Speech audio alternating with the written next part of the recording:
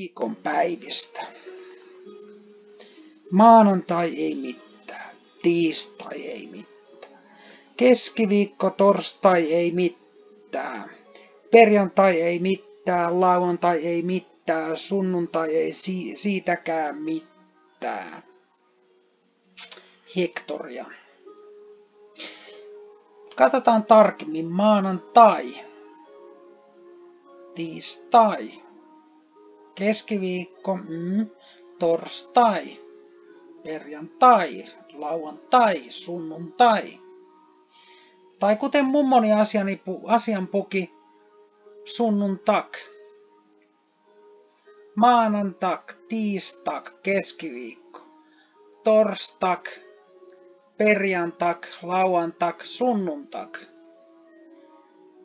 Tai tak, dag tarkoittaa päivää Ruotsista. Maananpäivä, tiispäivä, keskiviikko.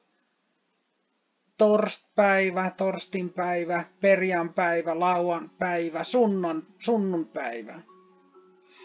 Okei, uskotaan, että kyse on päivistä. Pudotetaan päivä. Maanan, tiis, keskiviikko, torst, perjan, lauan, sunnun. Verrataan ensin englantiin. Monday, Tuesday, Wednesday, Thursday, Friday, Saturday, Sunday. Päivä uskotaan pudotetaan day. Mon, Tues, Wednes, Thurs, Fry, Satur, Sun. Sun. Hmm. Sun on ainakin aurinko. Mutta mikä on sunnun? Siinäkin on alussa sun, aurinko. Sunnan dag is dare thutse dag. Vetheonen Saturnes dage and mo månan dage. His nama is genumen of sunne, dam seaxikan sunne skyden. Jag hette Sol, bedam Northmannum. Kääntästäänpä. Sunnuntai on viikonpäivä lauantain ja maanantain välillä. Hänen nimensä tulee auringosta, sunne. Saksonien, saksien, auringon jumalasta, jonka nimi oli Sol, aurinko, pohjoisen miehille.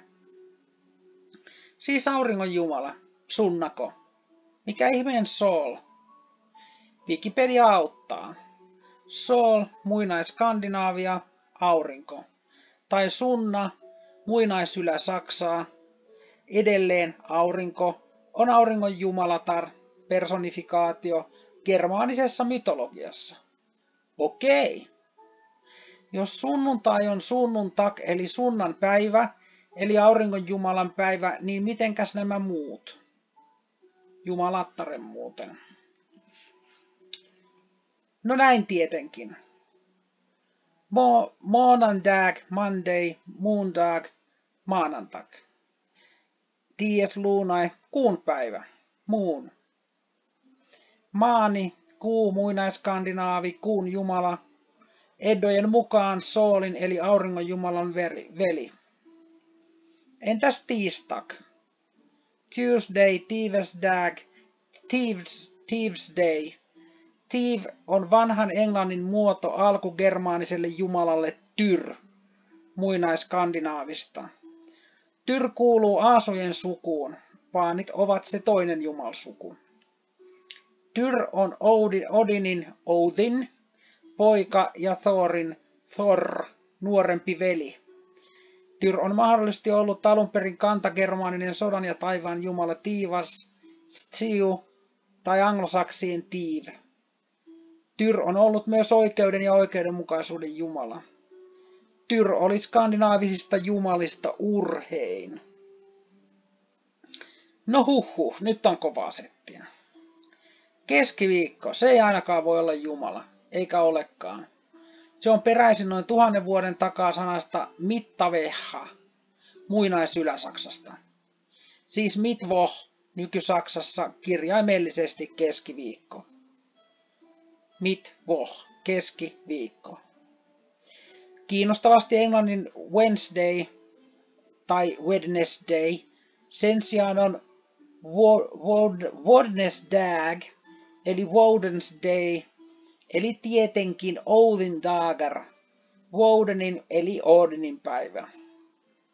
Torstai, Thundrasdag, alkulänsi-Saksasta, ukkosen päivä, Thorsdagar, Thursday, siis Tuurin päivä, ukkosen jumala Thorin mukaan.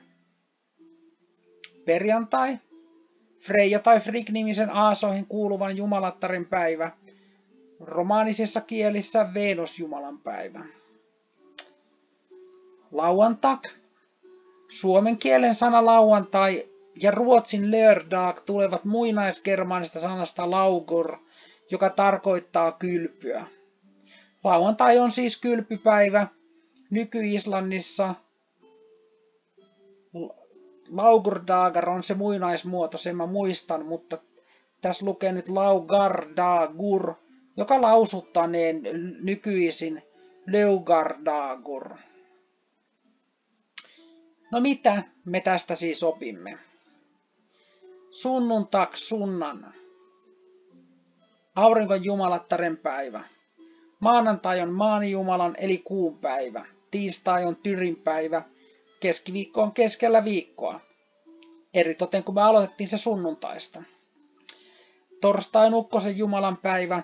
Thor, Tuuri. Perjantai on Freijan päivä. Lauantai on kylpypäivä. Ja keskiviikokin on nyt keskellä, kun aloitimme viikon sunnanpäivästä.